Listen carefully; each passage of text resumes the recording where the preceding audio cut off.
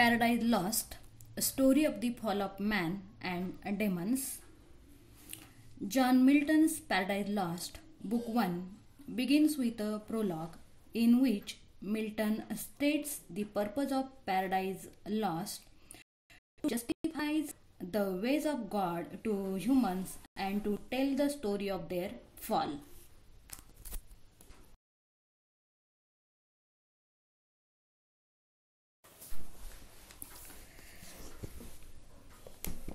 Book number one of the Paradise Lost contains the two main themes.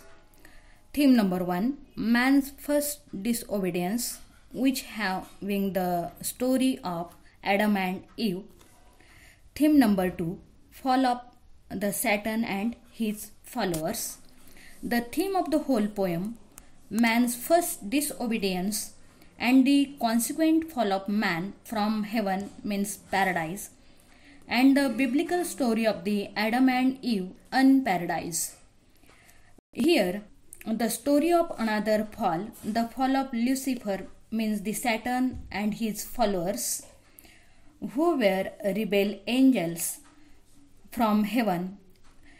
They are thrown by the God into the bottomless pit of hell to suffer endless perdition.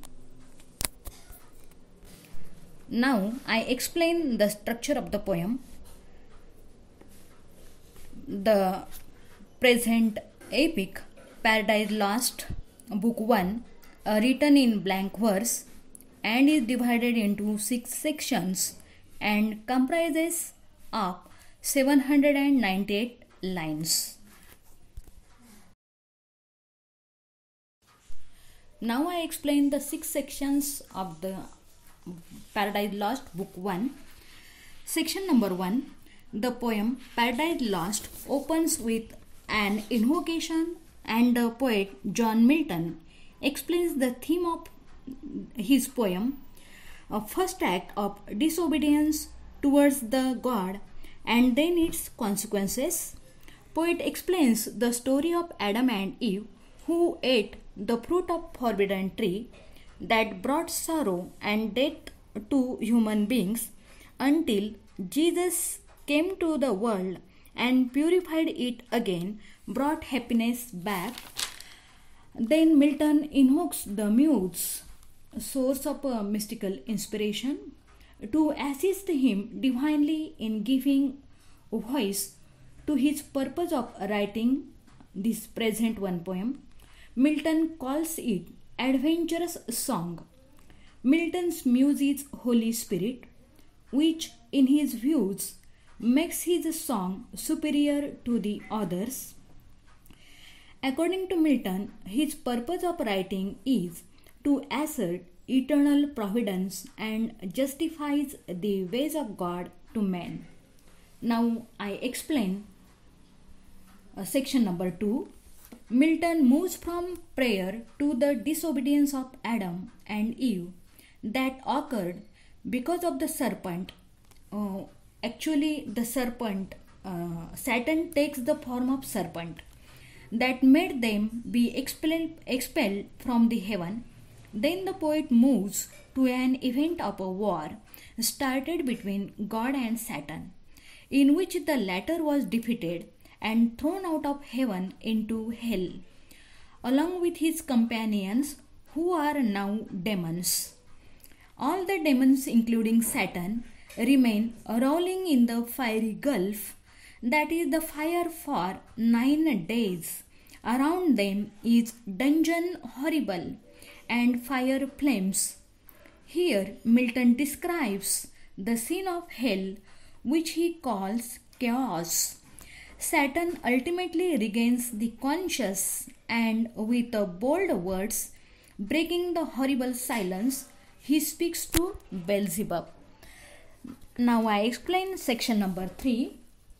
Satan speaks to Beelzebub.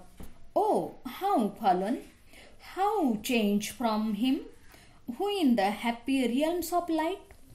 Satan uh, here Satan mourns over their defeat and expulsion from the heaven, but, but does not repent his rebellion and calls his dare injured merit. In spite of being defeated, still he has an unconquerable will, revenge, immortal hate, and courage. Then Satan speaks that better to reign in hell than to serve in heaven. Now I explain section number 4. Seeing the lethargic devils, Satan speaks out Awake, arise, or be far, even fall in. Hearing these words of Satan, all fallen demons quickly stands up and assembled uh, near Satan. They come one by one. Some of them are Moloch, Chemos, Thamuz, Dagon, Osiris, Isis, and Belial. Now I explain section number 5. When all the devils gathers around the Satan, he praises them by calling them immortal spirits and powers matchless. He encourages them to rise up again. Then Satan mentions some rumor that God is going to man uh, and thus their task will be to mess with him.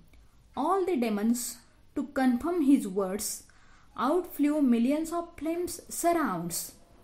Now I explain section number 6.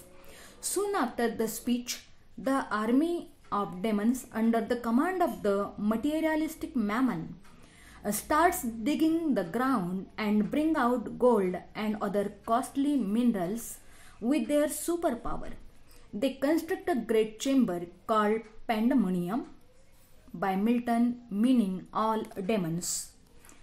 Uh, now, uh, in conclusion, uh, I can uh, I would like to say the book number 1 of Paradise Lost begins with a prologue in which Milton states the purpose of Paradise Lost and he stated not only the story of the fall of man but also the story of the expulsion of demons from heaven. Thank you.